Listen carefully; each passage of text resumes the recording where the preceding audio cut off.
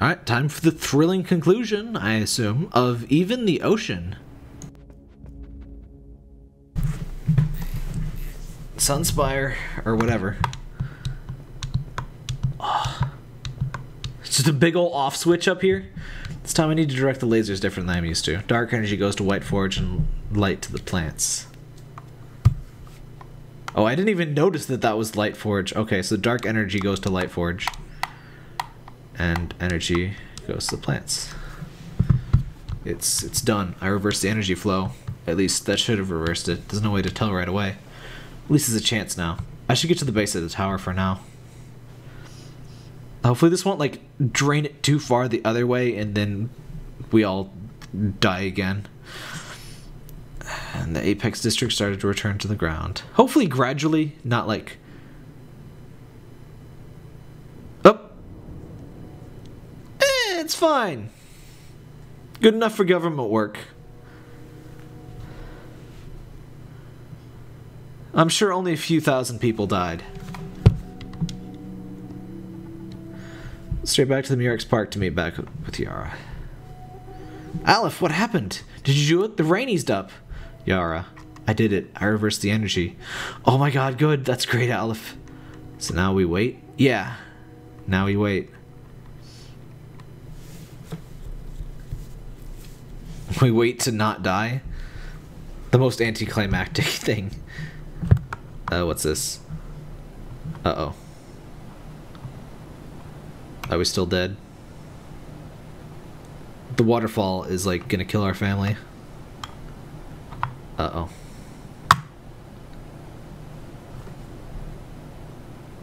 Look, I reversed the switch, okay? You can't kill me. That's how this goes. Uh oh.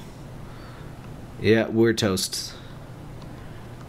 Ripperoni in pepperoni. Yep, there's like two villages already dead, and we're dead.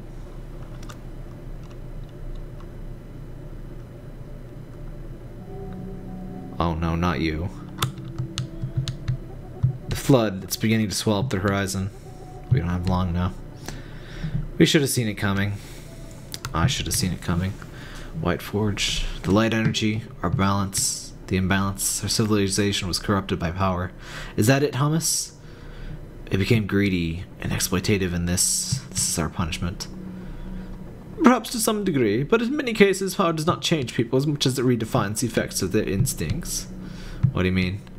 Let me put it this way. When a plant or animal is transferred to an environment where there's an abundance of resources, physical advantages, and or lack of prejudice, that species enters a position of relative power. It will garner an ever larger share of the environment's resources to the detriment of the environment's other inhabitants. Some humans call this invasive species. Okay. I think I get what Hummus is saying. Maybe the problem isn't the powerful people are transformed by their power. Maybe the problem is they aren't transformed. Exactly. Humans like any other creature. We do what we need to survive. But in our society, with our technology, some people in space exist in a space where immediate physical concerns, uh, things like food and shelter, vanish completely. You have to keep on exerting power and exerting power. They build giant floating towers like it's the only thing keeping them alive, even though that continues to be further and further from the truth. That unnecessary exertion of power is destructive. Individual acts of violence are a necessary part of the struggle for survival and growth in any ecosystem. But as system's power become more and more imbalanced, the violence of powerful becomes less justifiable. So it's all just inevitable, then? No matter how many cycles of civilization passed? Will people just always end up with destructive power structures like an invasive species? The way Hummus sounds describes it sounds just like clockwork. Like we never had a chance. Like nothing matters. Like nobody's really right or wrong. I do experience the universe primarily as interlocking system playing out. But remember this, Aleph. I do have a limited perspective in the face of the sheer complexity of existence. I don't think we can really know what we have true control over, what humans are capable of a whole, if we don't know, well, then there's some worth fighting for things, even if they seem impossible, or trying to think of different paths in the face of what feels inevitable. But now, it's too late, right?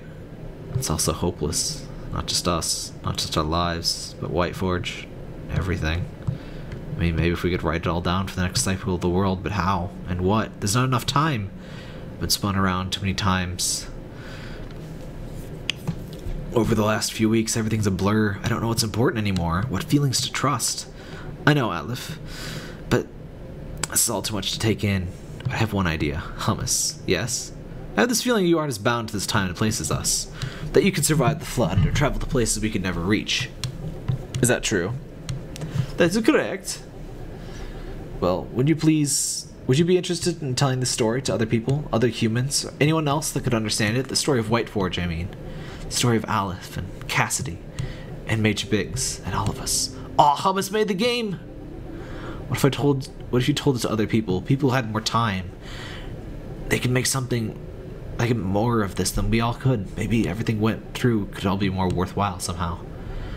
I know you don't really care about the plans or fates of humans, but maybe it could at least be an interesting experience for you?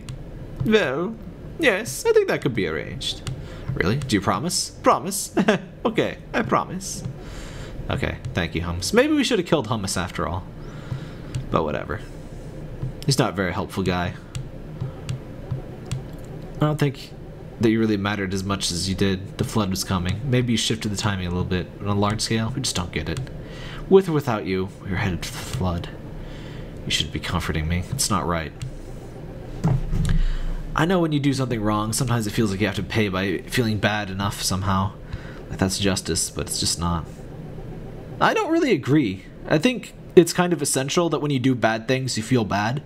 Like, I don't think a lot of people understand that. Like, people show this behavior where, like, they do something really bad, and then a bad thing happens to them for the first time in their life, and, like, like this happens with online harassment stuff a lot. Like somebody is like a complete fucking asshole to everyone around him, and then they get banned, and they're like, "Oh, how could I get banned? How could this possibly happen to me? How could how could somebody have done something like this to me?" And it's like they don't understand. They've been being an asshole and like harming other people the whole time, and you know, they you need to feel bad when you do bad things. Uh, that's that's life. That's empathy. That's humans. That's that's everything. If you don't want to feel bad, stop doing bad things. Like, that shouldn't be controversial. Anyway, at this point, what else do we have besides comforting each other? You've been a friend to me, Aleph. You've made the last few weeks of my life better. And now, I want you here, present with me, because I'm afraid. Thank you, Yara. You've been a better friend to me than I could ever ask for. And thank you, Hummus, for telling our story. Guess is it. The end. Could we maybe sing Even the Ocean together? Yes, yes, please. Hush now, little babe. I will hold you in my arms. Sleep now, little babe. I will keep you from all harm. Except for the flood. For you. I know that even the mountains, even the ocean, none will sunder you from the love we set in motion. Yep, and that's the whole drought and flood thing. Love will be your blanket, love will be your pillow. Hold it in your heart as you sleep beneath the willow. Six feet under the willow, because we're all gonna frickin' die. Hush now, little babe. You may rest your drooping eyes. Sleep now, little babe. Now that you are mine. Forever. You are mine. You are a pirate. then water comes in and kills everyone. Hooray. Yep. There's the ocean. She's a part of us too. She lives on the ways she affected us and the ways she we go on to affect others in an ever expanding ripple across time, even after her consciousness, her conscious memory has faded from the earth. Aw, that's about Cassidy. And that is the story called Even the Ocean.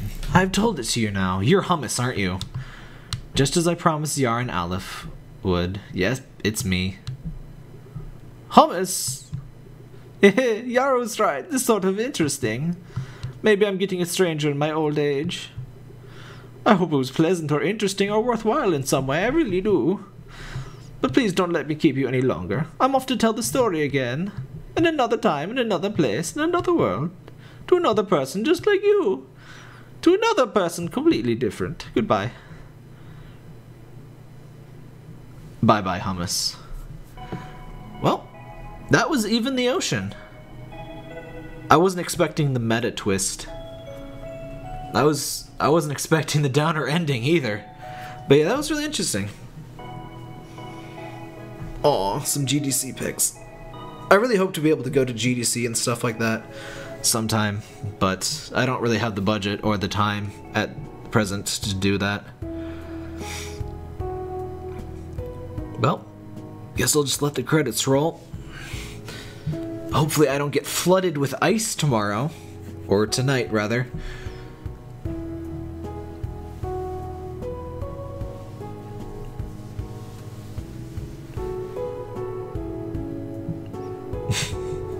the uh, photos have the same pixel like well I guess they got low resed to uh, fit with the games look sketch of trees for each area I love when games include their concept art and stuff because a lot of stuff you don't really see mm.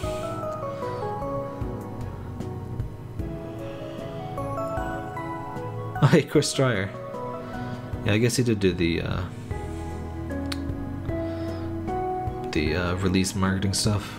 One of the earliest level design plans. Now that is how you design a video game, my friends. Oh man, I wish I had it, but um, hey, they use GIMP. Um,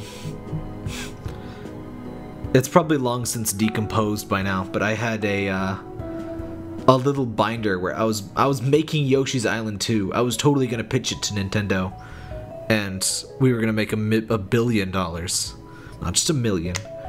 And oh, I made levels and everything. They weren't very big because like they had to fit on a sheet of paper, but it was still really cool. An early Rescue Beach plant. Oh, that is way different. Wow. It's interesting to see how things change. Aw. Rip, Grandpa.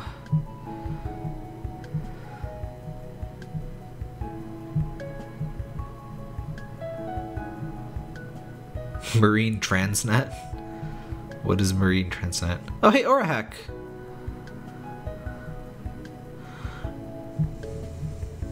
An early Fey Rouge. Ooh.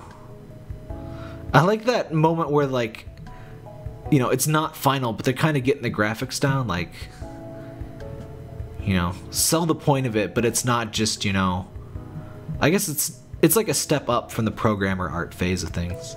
Thank you for playing and thank you for the support. If you enjoyed Even the Ocean, tell a friend. That's what I'm doing. For dev commentary and more, continue the game after the credits. Oh hey, Even the Ocean, the second game by Sean and Joni. We did it. Copyright Analgesic Production LLC. Oh, I want to see some. and oh, and one more thing. This is after the story, right? Now it's mostly out of my hands. Maybe I can show you something that isn't. How could I put this cannon? Anyways, if you want, I'll send you back to the city entrance, but Aleph will be able to leave the city. And go anywhere. What do you say? I'll even throw in a gift, too. of course and sure. Okay, great. Have this. Not like you have a choice, huh? Did you see that? I only let you answer of course and sure. I think that's what you call a joke, right? Haha. anyway, this device, this gift is some kind of communication device. Maybe you'll find some messages for something. Who knows? Yours now. Well, Aleph. She'll have it when you return to the story. And for fun, I've added an option to make Aleph movement's more extreme. You'll see. Oh, heck yes. As I was saying, thank you for listening to Aleph and Yara's story. I'll be sending you back to the entrance of White Forge, so please make sure you save your game. Don't forget to check out that communication device. If you bring it to some statue in the northern outer continent, you might find something very interesting. But for now, take care. Dev commentary, I guess. Hey there, it's me, not Hummus, it's Sean. I'm in Kyoto right now, just typing this. Got money for the 7 Eleven? My girlfriend's working on some classical Japanese in front of me. Hearing this, I guess we finished the game, huh? That's really great. Boy, I was kind of scared all the years, but somehow Joni and I, we did it. Anyways, I hope you liked it. There's still more I want to show you. Why don't you come all the way to the North Outer Continent? Oh yes, that's what that creepy statue was. Alright. Let's try this extreme movement thing we got going on. Uh, triple speed, hell yes! Gotta go fast, yeah! Oh, I love when games do stuff like that. Uh, that's one of the favorite, my favorite New Game Plus features from, um, um, who are you? Excuse you. Ah, Aleph, difficult times ahead. Listen to the ones you trust the most, and try your heart, uh, see your own heart with clarity. Goodbye, Aleph.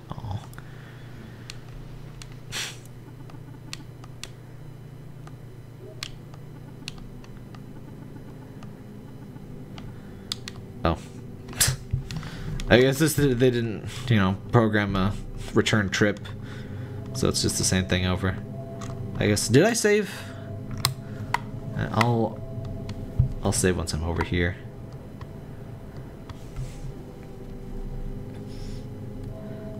But yeah, Megadimension Neptunia VII had uh, a thing that speds you up after uh, you get a new game plus. You know, um, it's an option you can toggle. It's really great. I, I wish more things had like, you know, you, you played the game normally. Let's just let you have a bit more fun, huh?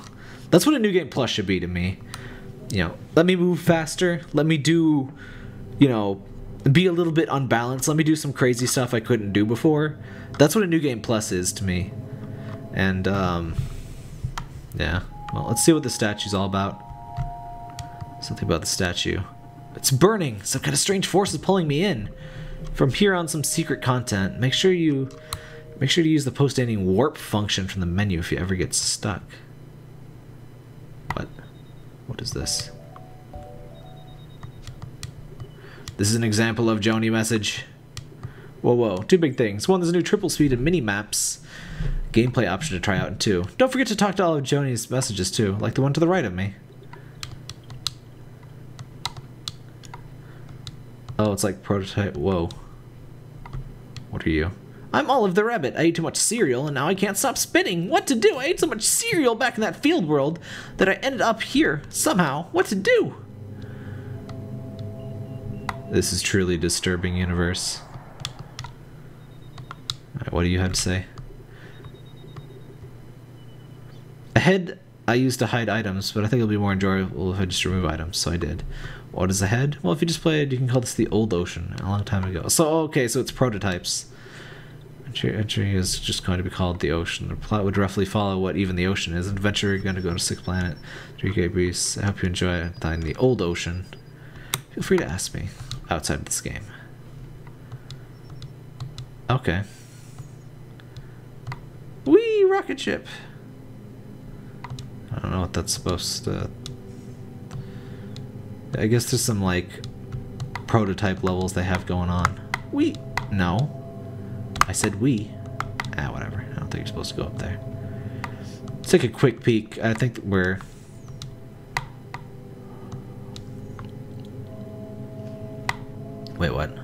Ocean Repository Ring 2? Whoa. What? Oh, tower, floor, what? Huh. Some very in progress stuff, I guess. Just kind of putting crap together.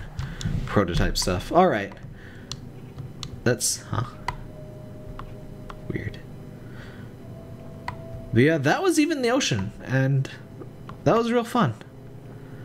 I uh, hope you enjoyed, and uh, if you did, tell a friend, I guess. That's what I did. In, in, a, in a sense, I guess. Uh, they had a thing where if you bought the game... Oh, hey. Overgrown Woods.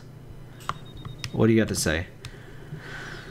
So ahead, well, I suppose that's where I'll part. Ahead, I used to hide items, but I think it'll be more enjoyable if I just remove the items. Oh, maybe that's why I thought it was a Metroidvania. Maybe it was planned to be a Metroidvania, and they just made it more of a, you know, a narrative platformer. Yeah, we read that before. That was weird. Whee! Okay, so there's some actual game design in this area, not just random crap. What is this? Just grasses, I guess. Water. And I think they said on the... oh! Information kiosk! What do the numbers mean? What do the numbers mean? Enter to Old Ocean Act 1. Enter at Stove Forest. More power plants. Explore the golems. Visit the ends of the earth. Return home. Oh, dang. It's like the whole freaking old game. But, you know, they didn't have, like, the full thing, but... Oh. Oh, but I can't, like... Get the frick out of here, though. Huh.